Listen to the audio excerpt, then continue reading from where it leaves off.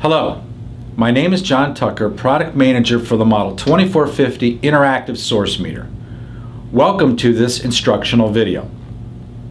One of the powerful features of the Model 2450 is its built-in graphing capability. Very quickly, you can see your current versus voltage or IV measurements plotted for you right on the instrument.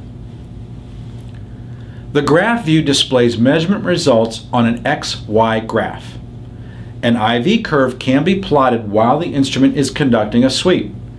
This is extremely useful for quick bench characterization of your materials and devices in a research and development situation, especially when you are performing sweeps.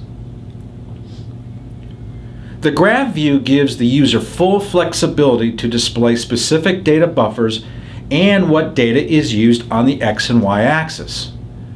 The x-axis can display source or time data versus source or measure data on the y-axis. For the graph that we just plotted on the display, we can quickly change the x-axis to display time points by touching the x-axis function and selecting time. Now we can review the measurements graphically as a function of time. The 2450 also gives you the ability to control X and Y axis scaling so that you can view the data the way you want to view the data.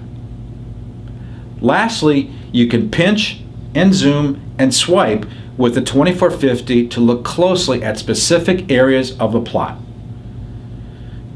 The 2450's powerful graphing capability will enable you to learn faster, work smarter, and invent easier.